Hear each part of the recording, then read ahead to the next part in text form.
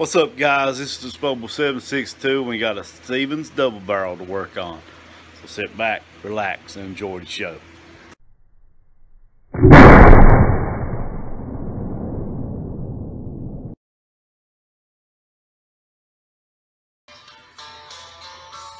So what's up guys, this is Disposable 762 and we got the Stevens model 311, looks like a C. I'm not familiar with this shotgun, but um, you see old Stevens hammerless shotgun. There's the model. It's got some case color. It's a good looking shotgun. Um, the problem they're having with it is it only fires on one side. So you open it up, it's empty. Stock needs tightened up. Take the safety off. That one there will not fire, so it's the one on the right. So let's take her apart here right quick. okay, I had a phone call, so I, I just kind of stuck it back together. Um, the only thing I've got removed now is the butt plate and um, trigger guard and the screw has been taken out of the butt of the stock. So I'm gonna open it up. Um, so what was going on was this side here is I'm gonna cock it for you. If I can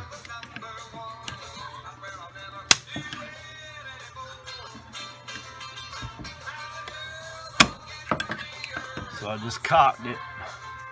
That's a cocked hammer right there. That side is not cocked. And what it looks like is going on is hitting the safety. Right now the safety's off, safety's on. So you see the trigger can't touch here. It's touching the trigger so it won't move. It's on safe. Same for this one. It's on safe. Move this forward. This trigger clears. But this one does not. It's hanging over a little bit. See it touching right there? Right there. Touching just a hair. So what I'm gonna do I'm just hit it with a Dremel try to take that little corner right there off of that trigger and see if it'll work.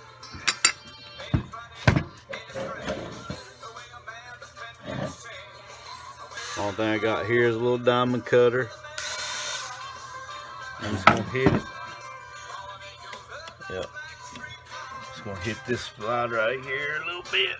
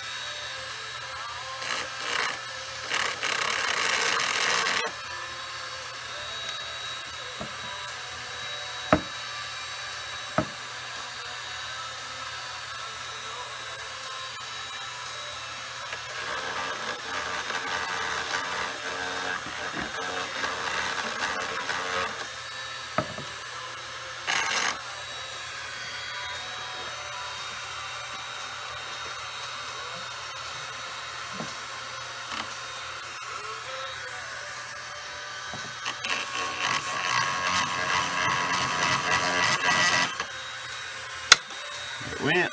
You see that? Just a little bit. Let's see if I can cock it and repeat it. So, they're safe. Oh, that's fire. I'm sorry.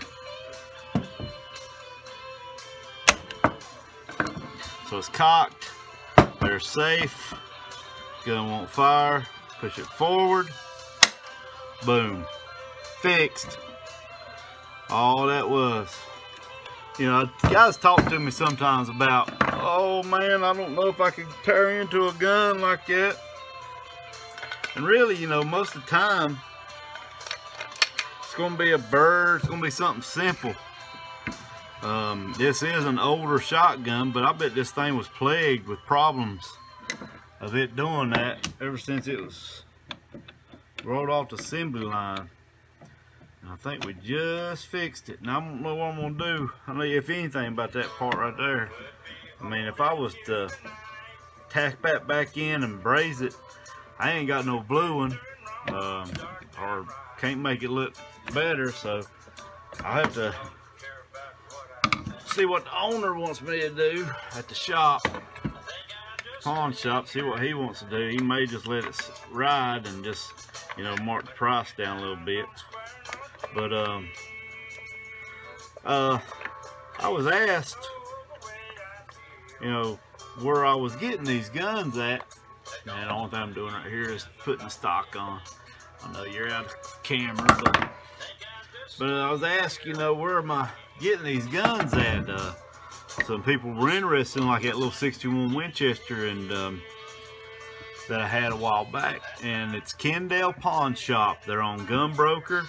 Um, they're on the internet. Just search Kendall Pawn Shop and you can see their inventory.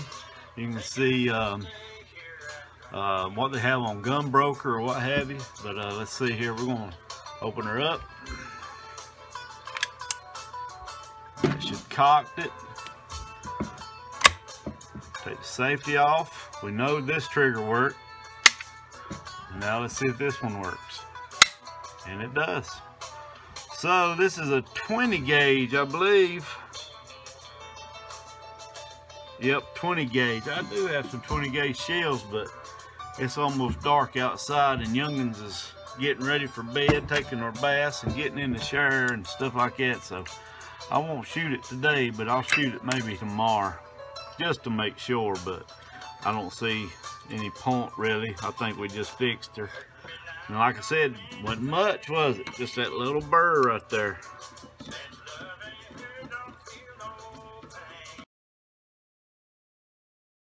Every knee shall bow and every tongue shall confess that Jesus Christ is Lord. And we're gone.